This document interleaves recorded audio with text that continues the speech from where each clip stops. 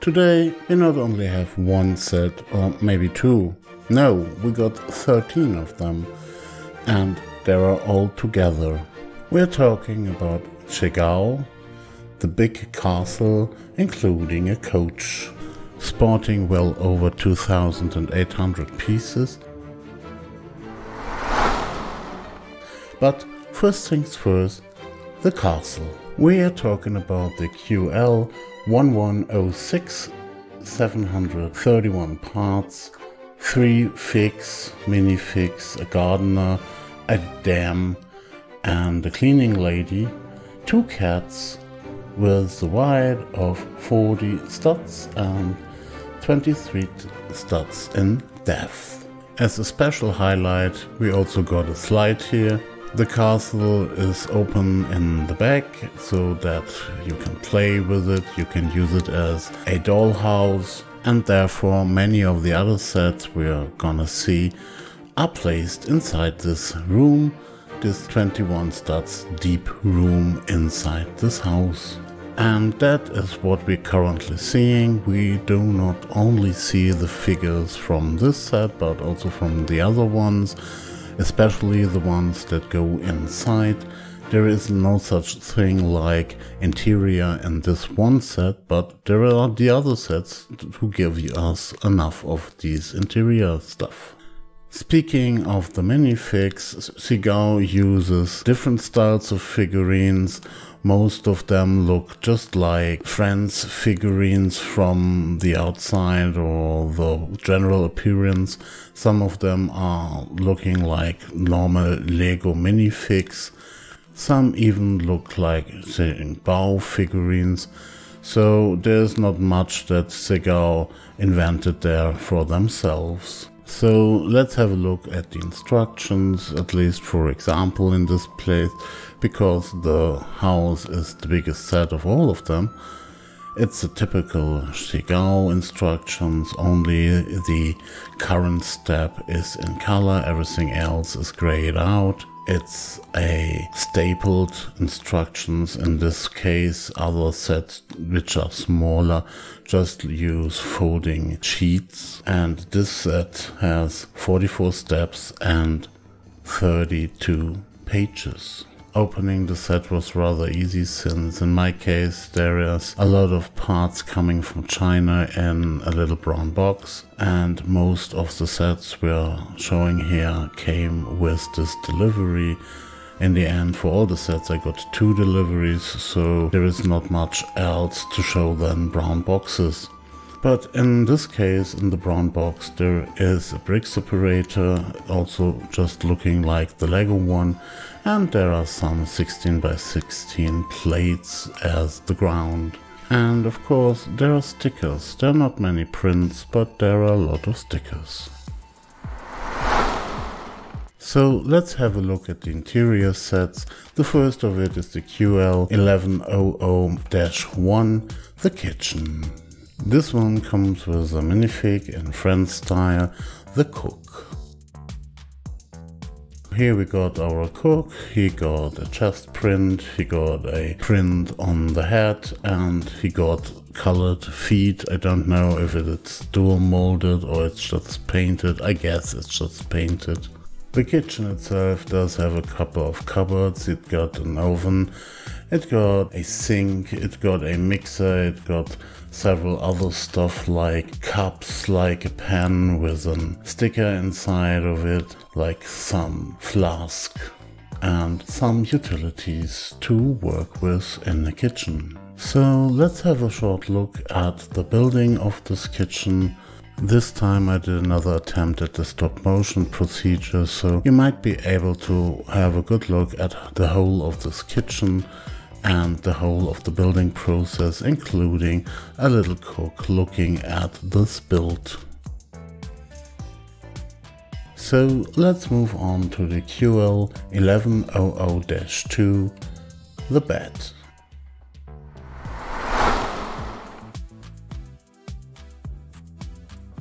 In this set we got another minifig, a princess, but we also got something to sit on and a bed that is why this set is called the bed.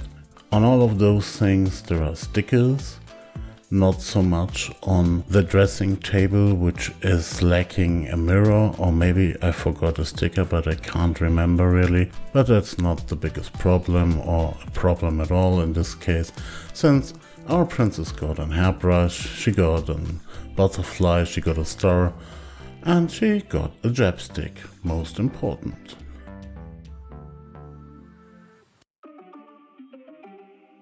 What she also got is a printed chest, a printed skirt and not much else.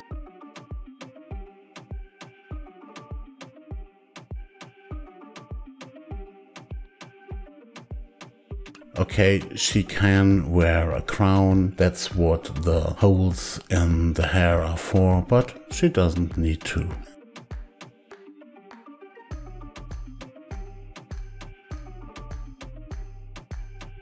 But let's move on to the QL1100-3, the sofa.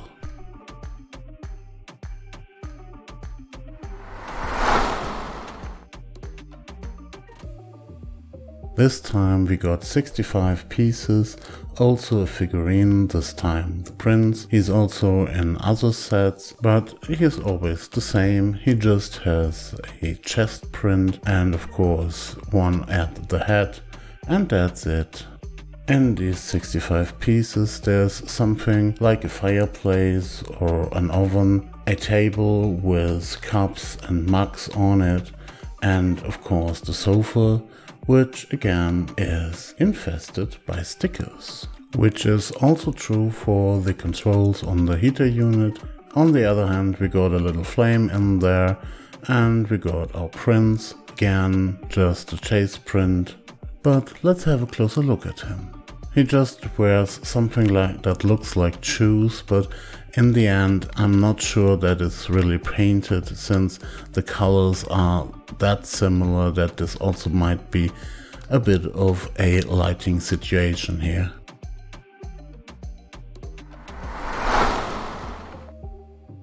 So let's move on to the next set, the QL1100-4, the table. This set sports 67 pieces. We also got a minifig. This time it's a waiter with a plate and some beverage on there. Then there is the table. That's why the set is called the table. On the table there are two glasses and maybe a pot of flowers or maybe some kind of cake. We also got four stools or seating opportunities with them. We got a flower pot and we got a little car that again carries some flowers or maybe some cupcakes. That is not too clear. Again, our little waiter does have a multicolored uniform, but he also just got a chest print and a bit of a Friends figurine style which due to this rather limited style, he only is able to hold his plate like this over his head. And again, everything you see that is colored is a sticker, including the stickers on the seats.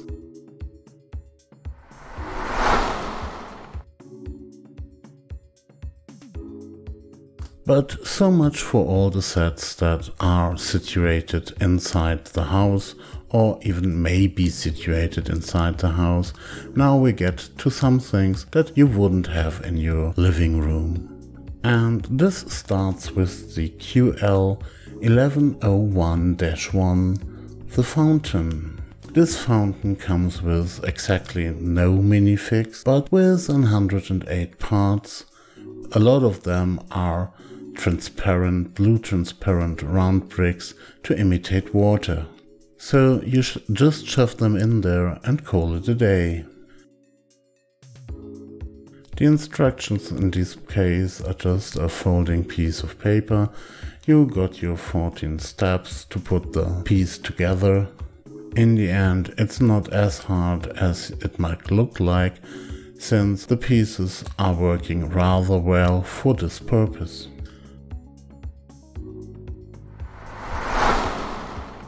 And I can't deny it, I had another help with this set and with a lot of the others also, but it's okay since she's the one who has this castle now and she is the one who enjoys playing with it. But move on to the 1101-2, the bird's house. The bird's house gives us 124 pieces and another minifig, another Friends style minifig, a guy who is I guess meant as a piano player. And of course since it's a bird's house there is a bird. And of course since it's a bird's house there is a bird's house. And the bird is inside the bird's house as well as a lot of stickers. Our man does have a chest print and a face but that's it he got a top hat and I guess that's not for wrestling but for playing the piano in this case. There's also a table with two chairs in this set. On the table we got a big cake and some glasses for a champagne fountain I guess. Everything you see is again stickers. But on a positive note they try to mix it up with the chairs. Every set has something different in this regard. Again, the instructions here are a folding paper and it's okay for these 124 pieces. So let's move on to the QL1101-3 sporting 105 pieces, the treehouse.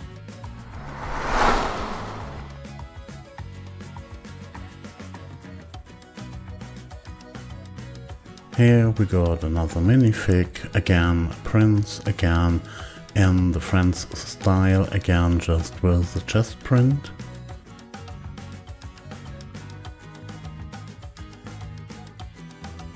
And we got a treehouse with a ladder, with another kind of chair, with a lot of fruits and decoration, a balcony,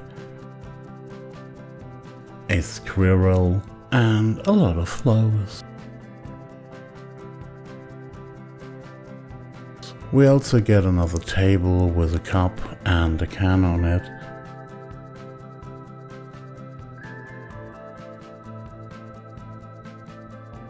And we also get another folding piece of paper as our instructions for this little set.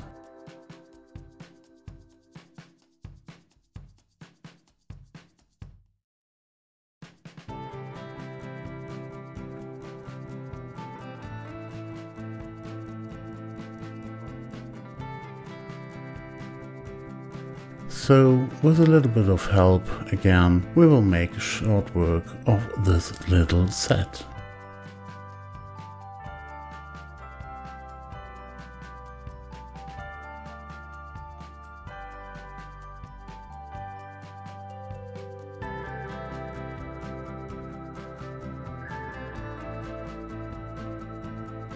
But wait, there is more in this case the QL1101-4, the picnic.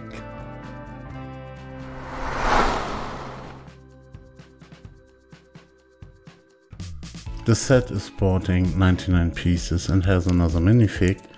This case it's another dame in blue and in French style. This dame has another chest print, a print on her skirt and of course a face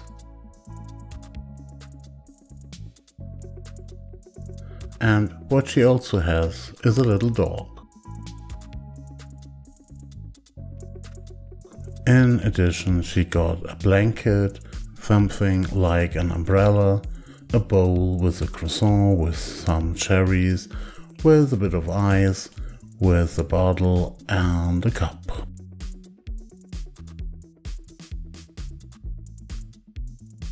But there's more. For example, a little bench in a setting like a fairy tale with lots of flowers, mushrooms, a flower pot, and something on top of this thing where she can relax for the day and read a good book, since there's also a book carriage there.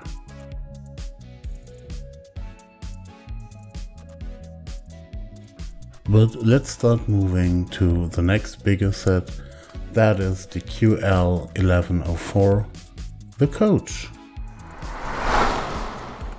Here we got 351 pieces and 3 minifigs. Again a princess, again a prince and a coach driver who is maybe needed to drive the coach. And of course we got two horses evenly to pull the coach.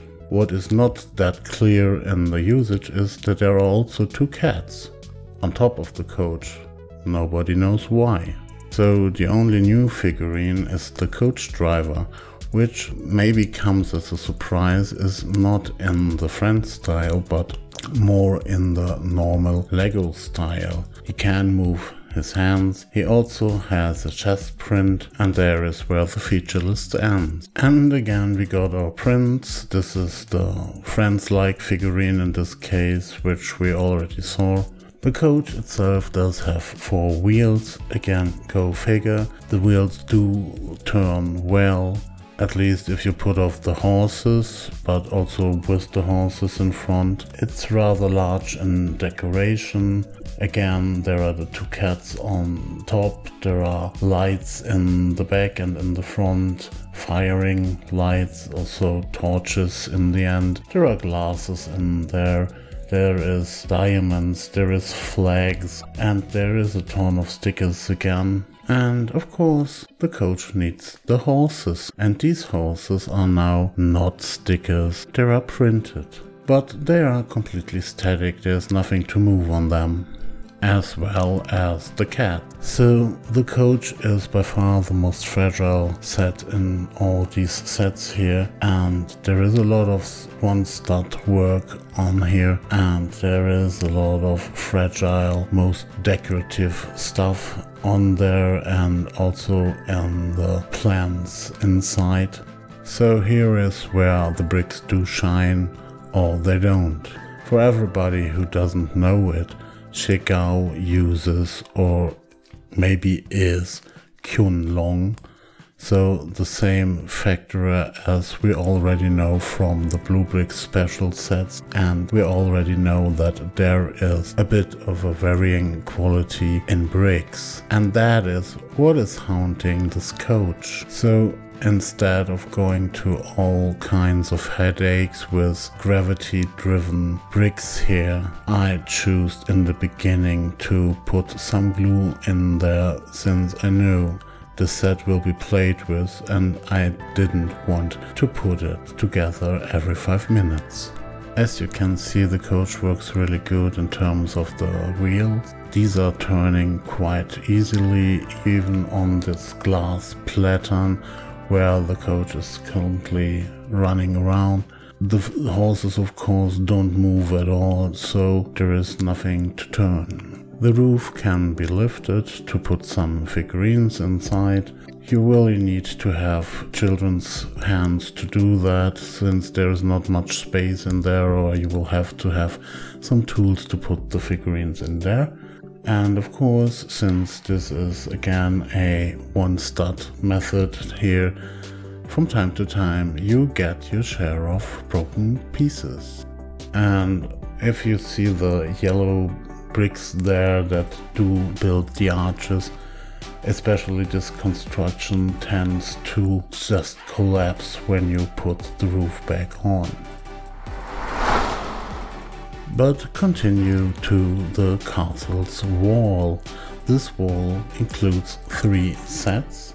QL1102 sporting 268 pieces and two minifigs which are soldiers. QL1103 which sport 273 pieces and another two soldiers as minifigs. And the middle part is the QL1105 sporting 482 pieces and does have different soldiers as the minifigs. All those soldiers are sculptured after normal Lego figurines. All those pieces can put together on hinges and then feature adjustable angles in order to each other. So you can have a very wide wall and you can have a smaller one in a new shape. You'll find a lot of decoration on the outer parts of this wall and also some of it on the inside, including the heaven's doors in gold. So let's talk about the minifigs. In this set we get 2812 pieces with 13 sets and in a total of 18 figures, minifigs. Most of them as seen are on the Friends variety, some of them are done after the normal Lego minifig style. We also have our fair share of cats, four of them, and horses, at least two of them in the coach. But to the minifigs themselves, we got two princesses, we got two princes, we got a cook, we got a piano player, we got three or four dams, we got a cleaning lady, we got even a gardener, and we got a coach driver, and a lot of soldiers here. And last but not least, we got a waiter. According to missing parts, there are none. There were a lot of parts left over, but there was one part that was wrong. And this was an arm of the princess. So the blue one wasn't there, there was only a black one left over, so she now got a black arm. Since we are now right on our way to show how the bigger parts or the bigger sets are assembled in this case and this time I used a special technique to show you more than just one of these building processes at once, so maybe you're gonna stay tuned. But since this is the case now, just draw some conclusions. This is a Zhe Gao set. This is not done for adults, this is not done for a shelf, this is done to be played with. And in this case, these sets are almost ready to be played with. Some, like the coach, will need a bit of a sticky help there. And for the main building, it's maybe not that best idea to have something like a dollhouse and 21 studs def. But for the most part, it can be done and the bricks are good enough to play with them. This being said, these are still Kunlun bricks and they're not famous for being the most clutch power heavy bricks on this planet.